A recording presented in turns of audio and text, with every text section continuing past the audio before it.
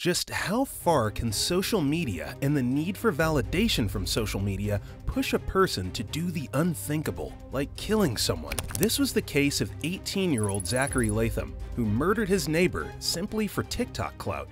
You may be wondering right now, what do you mean he killed his neighbor for TikTok clout? Well, to understand this, let me start from the beginning. Zachary Latham moved into his grandparents' house on Thornhill Road in Vineland, New Jersey. For some reason, he was emancipated by 17, so he had an unusual amount of freedom for someone his age. He had cars that he made sure he showed off any time he got, and as you can see in this photo, you can already tell he's an annoying person. 350Z owner, iHeart 5W30. Is that a Tommy dog? Society. Neighbors hate you. Cuts everybody off. What are blinkers? Road rage. Loud exhaust. My DE will smoke your HR. Well, these cars that Zachary owned were the cause of the problem because all he did most days was speed around the neighborhood, sometimes hitting up to 100 miles per hour and posting it on TikTok. However, Zachary's neighbors, the Durhams, didn't like all that noise and reported it to his grandparents. Zachary's grandparents obviously reprimanded him and made Zachary read a letter of apology to his neighbors. But, well, that was simply a half measure because soon after the apology, Zachary was back to his old self, posting videos of himself driving his car at high speeds. This was when Catherine Durham said enough is enough and confronted him. This led to Zach making a video of her and calling her Karen. What are you gonna do, Karen? That's not my name, so get my name straight. Go ahead. I'll You give okay. Karen? Go ahead, get my tag. Two. Get my tag, Karen. My name is not Karen, so get my name straight. Get my tag. It's okay. A45MFA. You go, Catherine. Zachary posted this video on his TikTok, which became viral, getting over 3 million views. Now, you might love a good Karen name and shame, but that wasn't the case here. This lady was rightfully pissed off. He got a ton of followers who, obviously not understanding more context of the video, took the side of Zachary and told him to do more crazy things to her, such as slash her tires and mess with her more. A lot could be said about this and the parasocial relationship with social media, because after Zachary saw this, he made it his mission to really mess with the Durhams. This action would start a cascade of events that would cause one of the Durhams to die. So, he starts driving across the Durham's house, screaming, Hey Karen, we went viral. and he yells out the window, "Hey, uh, hey, Karen, we went viral." He began to get bold with his videos, revving his car even more in the neighborhood and disturbing the Durhams in particular to get more reactions. Allegedly, Zachary posted himself with a gun with the caption saying, That's how you handle neighbors. The post was deleted. One would think that a dude who became part of the National Guard would, you know, guard people and not cause problems. Oh, yeah, he was a member of the National Guard. The Durhams chose to go through the legal route. After the Durhams reported to the police, the police said they couldn't do anything because it was the pandemic and courts had closed. P.S. It's important to note that this guy already had simple assault, criminal mischief, and terroristic threats. But still, why did they ignore all the complaints about an annoying neighbor who was obviously a terror to his neighbors? In fact, Durham's lawyer said that the police and a judge lived in the area and knew of Zachary's actions. In this video, you can see the police saying that they can't do anything, even though there's video evidence. Face, we would arrest you. But you won't do anything, even though you saw video proof, correct? Correct. Okay. For your video, that is correct. Thank you. Now, here's another video of the Durham's son, William Durham Jr.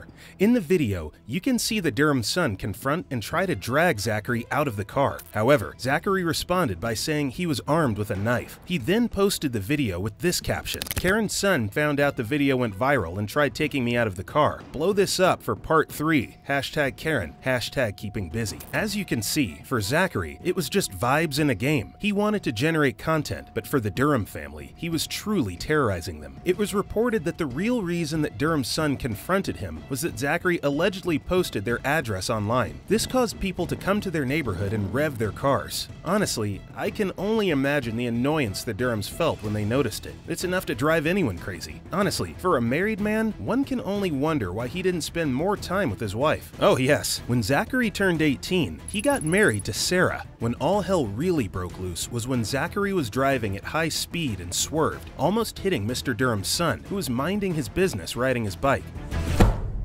This incident was the last straw for Mr. Durham, who decided to confront Zach himself after two years of dealing with his shenanigans. Zach was now 18, no longer a child, and Mr. Durham had had enough. Mr. Durham pulled his truck into the street to block Latham's truck, and his wife, Catherine Durham, recorded the exchange on her phone. In the video footage, which, by the way, was confiscated by police as evidence, Zachary Latham can be seen throwing an elbow at Catherine, knocking her phone from her hand, and speeding off toward his home. Zach's wife was recording the scene with her phone and walked down the driveway to confront the Durham sons as they came onto the Latham property. The whole family was actually involved in this situation, and they went over there like a squad trying to confront Zach about everything that happened over the course of two years. Sarah Latham, Zach's wife, told the Durham sons they had better back up because they would not like what was coming out of the house. Soon after, William Durham arrived with his truck. Latham's public defenders say in their filing that he and his wife can be heard on the video footage clearly telling the Durhams several times to get off the property, and they are not welcome. The Durhams, their hands visibly empty, continued to approach. There were no weapons involved, but things quickly escalated. After Latham went back inside the house, he actually came back outside with two knives and his stun gun to confront the Durham family. Clearly, this kid wanted to fight.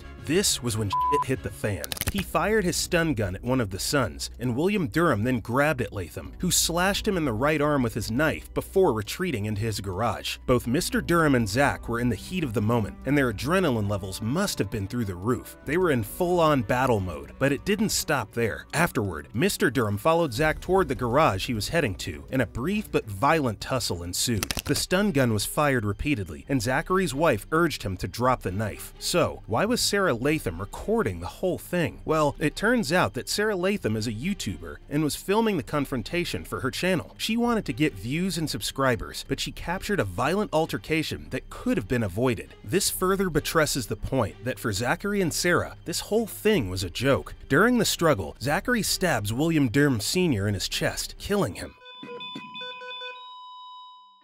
Here's the 911 call that followed from some of the neighbors. 911, where's Mercy? Uh, yeah, it's in, it's in Vineland on Thornhill Road. Here's another call made by Zachary, too. I run. It's emergency. All over the place. Uh, I just got assaulted and jumped. Zach then goes on to lie that he had his windpipe broken and they had guns. Sorry, how are you injured? Um, my windpipe was sucked in and I got out and by like 10 people. There were a lot of discrepancies between what happened in this call. For one, 10 people didn't beat him up. Here's the police arriving at the scene. Immediately after the call, the police came to the house, and you could see Zachary and his two friends, Moses Rios and Dylan Aristi. The police started evaluating the situation to know exactly what was wrong and cordoned off the property. Zachary was then arrested and taken to court, where he said it was self-defense. But the Durham's lawyers believe that Latham deliberately drew William to his death in a bid for social media celebrity. They noted that Zachary's wife recorded the brawl on her phone and said she did so, quote, because it was her and Zachary's intent to post these videos to TikTok and become TikTok famous. For that reason, the lawyers argued, the self-defense claim does not hold up. They believe that if Zachary genuinely feared for his or Sarah's safety, they would have retreated inside, called the police, and stayed there. However, they did not do so because they intended to lure the Durhams there, attack them, and record it for TikTok.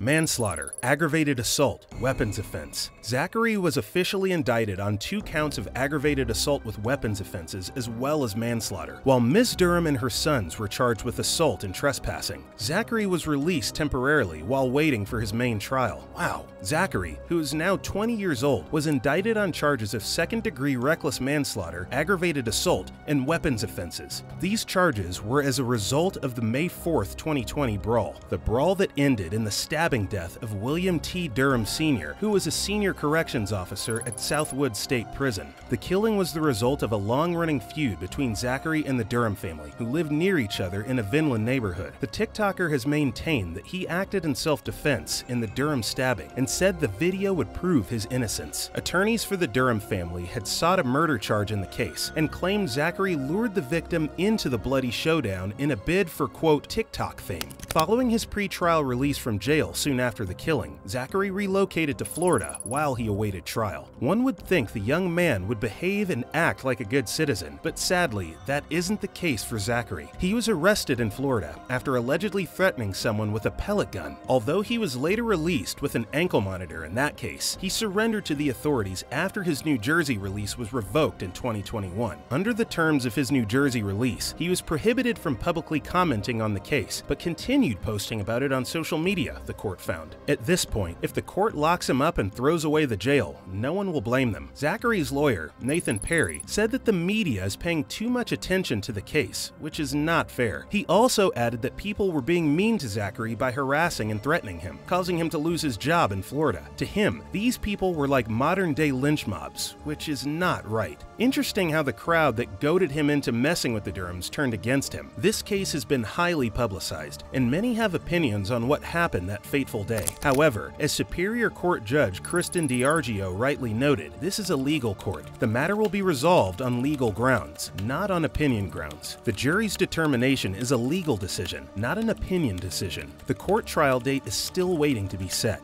I'm really hoping the full arm of the law comes on Zachary Latham and gives the Durham family some peace. This case is a cautionary tale of the dangers of social media, police negligence, and being a terrible person. I hope we all understand that cloud is a drug we shouldn't overdose on.